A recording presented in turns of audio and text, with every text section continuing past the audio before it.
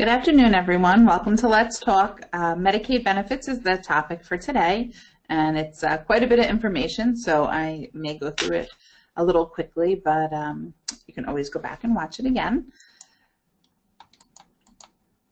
So we're going to start to talk about the two different types of Medicaid. So there's community or home care Medicaid, and that's the uh, program that covers home health aides for a certain number of hours, depending on the person's needs um, and they take care of people who require assistance with their activities of daily living. Then there's institutional Medicaid or chronic care Medicaid, and that covers the cost of a nursing home um, for people who require skilled nursing care services. The home care program, Medicaid home care or community Medicaid, you may hear it referred to, um, is a program that allows for the payment of a home attendant who helps an elderly or disabled person fulfill their basic care needs on a daily basis. So things like uh, bathing and dressing and grooming. Um, but in order to qualify, an individual must be both financially eligible and medically eligible. In order to be financially eligible, an individual cannot have more than $14,850 in assets. That is going to include um, any accounts in the bank, checking, savings, money markets, CDs, investment accounts, um, annuities that are um, non-qualified, anything that's not a retirement account. So when looking at somebody's assets, uh, we don't take into consideration an IRA or a 401k or a 403b. Um, we're looking at just their regular um, personal accounts and the total of those cannot be more than $14,850. And for a couple, where they're both applying for Medicaid, cannot be more than 21,750.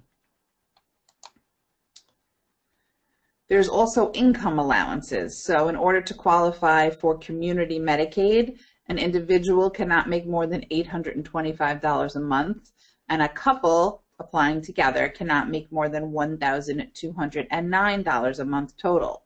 So most people right off the bat will say, you know, nobody's going to qualify for this benefit. People have more than $14,850 in their accounts, um, and they certainly make more than the 825 a month in income. And when we're talking about income at, you know, the point in somebody's life where they're retired, um, we're talking about Social Security, we're talking about pension, we're talking about uh, distributions from an IRA or a 401k. So those actually do get counted towards the income, even though the principal of the IRA and the 401k aren't counted as a resource. The, uh, the, the distributions that come out are counted as income. In order to qualify for community Medicaid, people can divest themselves of all of their assets and be eligible for Medicaid in the community on the first day of the following month. So basically what that means is if someone has more than the $14,850 in assets, they can essentially move all of that money out of their name today and be eligible for community Medicaid on the first day of December. There's no five-year look-back period for community Medicaid. The five-year look-back only exists in institutional Medicaid situations. So that's one of the biggest pieces of misinformation out there and uh, something that a lot of people don't realize that there is no five-year look back for home care. So we do spend a lot of our time in our practice um, making people financially eligible for community Medicaid by speaking to them about different ways to transfer their assets to make them eligible. And that's going to be, of course, a topic for um, another one of our webinars. But um, there are many different ways to, to make those transfers, whether it's to an individual or to a trust, you know, there's different ways to do it. Um, but it's important to remember that Medicaid only begins to pay on the first day of the month. So that's why we always try to make sure we get assets transferred prior to the end of a month so that we can start the services immediately. The transfers, again, they can be made to anyone. They can be made to a trust. They can be made to a daughter. They can be made to a son, a spouse, a neighbor, anybody. But what you have to be careful of is just because there's no five-year look back for home care doesn't mean you can just willy-nilly transfer the assets. You need to do it strategically because if the individual needs a nursing home within five years of having made those transfers for home care benefit purposes, then we're going to need that money to come back. So we never want to put the money um, in a vulnerable situation. And again, that's another topic about transferring assets and the best way to do that, but we always want to make sure that we're doing it the right way. The majority of obstacles faced when applying for um, for institutional Medicaid has to do with the resource allowance, the asset transfer penalties, and the five-year look back. So remember, we first talked about um, home care Medicaid and qualifying and making yourself eligible and moving money and no five-year look back. And now we're talking about institutional Medicaid and the obstacles involved because there is a five-year look back. So in order to qualify for institutional Medicaid, again, an individual cannot make more than $14,850, uh, cannot have more, I'm sorry, than $14,850 in assets. If that person is married, the spouse in the community cannot have more than $120,900 in assets. The income allowance is also different for institutional Medicaid. An individual who's receiving Medicaid benefits in a nursing home they get to keep $50 a month of their income just for certain things that they might need in the nursing home. And the community spouse, if there is one, they're allowed to make $3,022.50. If they don't make that in income every month, they can take income from the institutionalized spouse to bring them to that number.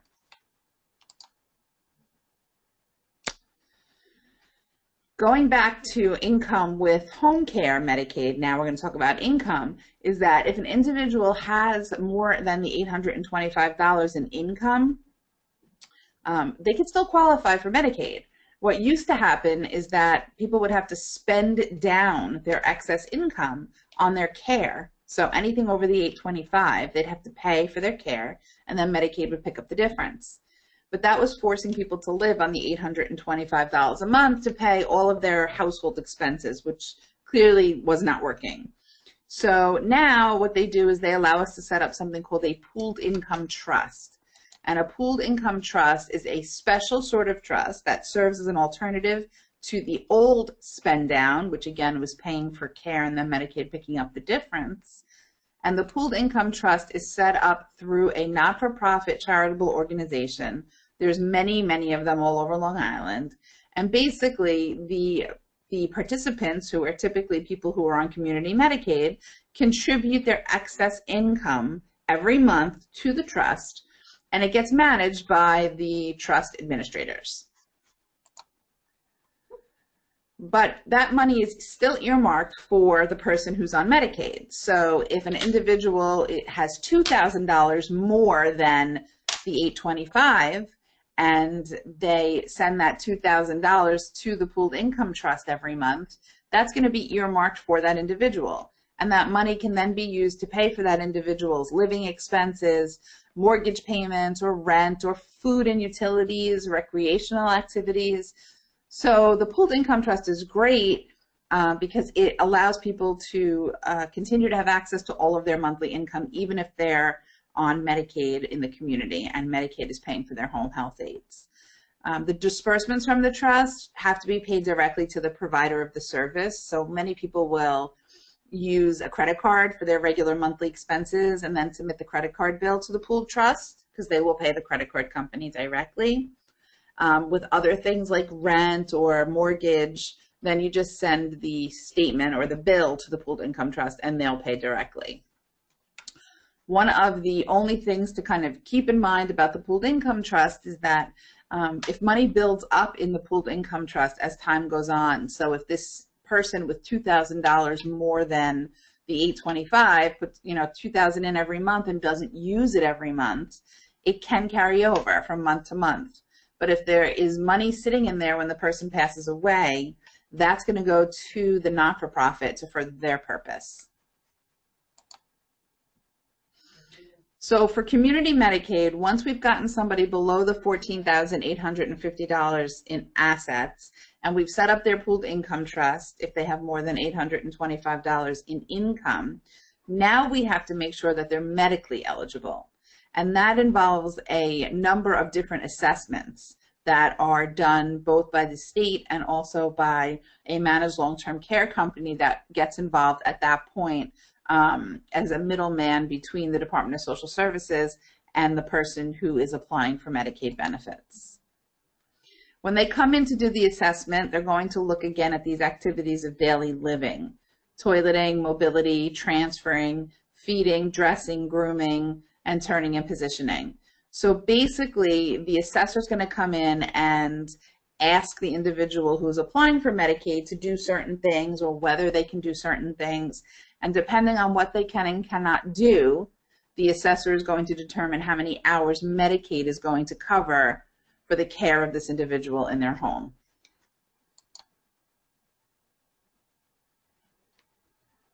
Important thing to remember is you can supplement hours of care without interfering with your Medicaid benefits. So um, if somebody is given, say, 12 hours of care and the family believes that they need someone there full time, they can supplement the difference and it doesn't affect the Medicaid benefits.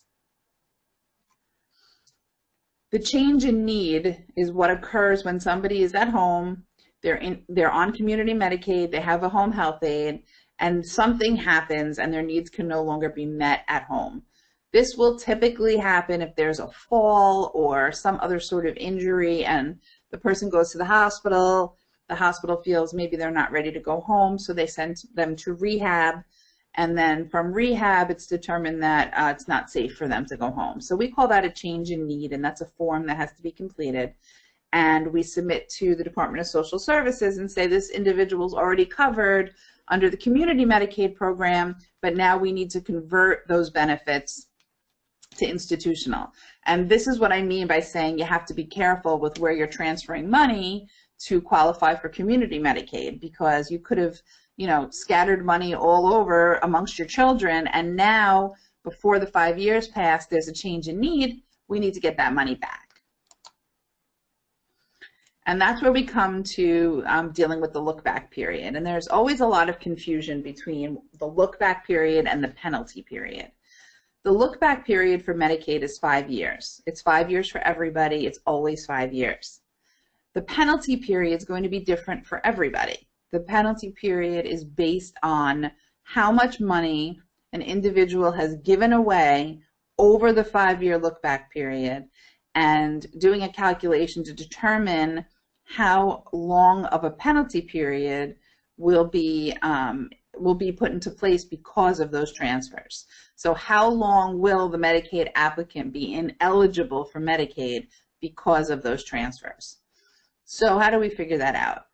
It's um, it's a it's a calculation. Um, you'll see on the slides that there's some numbers there. In Long Island, there's a regional rate of $12,811 a month, and in New York City in the boroughs, it's 12,157. The regional rate, those are figures that are given to us by the Department of Health every year. They're supposed to represent the average cost of a nursing home in the area. Um, so the numbers are pretty low here. The average cost of a nursing home on Long Island is probably somewhere between fifteen, sixteen thousand dollars a month. So that the numbers they give us at Department of Health are pretty low, but they're the ones that we need to use. So in order to determine the penalty period, we look at the five-year look back, so we get five years of statements. We make a list of all the transactions that were gifts that took place or uncompensated transfers. We add them up and we divide them by the regional rate. And that answer is the number of months a person is ineligible for Medicaid benefits. So a quick case study, we have Mrs. Smith who has a total of $159,000 in assets. She's totally fine and she transfers $99,000 to her children in November of 2014 for a down payment on a house. And she keeps $60,000 in her name. Now, to do the calculations here, we're going to assume the regional rate's $11,000 a month. Uh, Mrs. Smith suffers a stroke one year later in November of 2015, so one year after she gave the money away, and she goes to a nursing home. So now when we look at the five years going back, we're going to see that $99,000 gift. So the first thing that has to happen when we look at this picture is Mrs. Smith needs to spend down her $60,000 because even if I can calculate the penalty, okay, which is $99,000 divided by 11,000, which is the regional rate in this example, which is nine months penalty, even though I can calculate it, it doesn't start to run until Mrs. Smith has less than $14,850 in her name. So she's going to spend down her 60000 which is going to take her through April of 2016. She's going to pay the nursing home privately. And then her nine-month penalty can begin to run. So that's going to take her out to January of 2017. February 1st, 2017, she would then be eligible for Medicaid.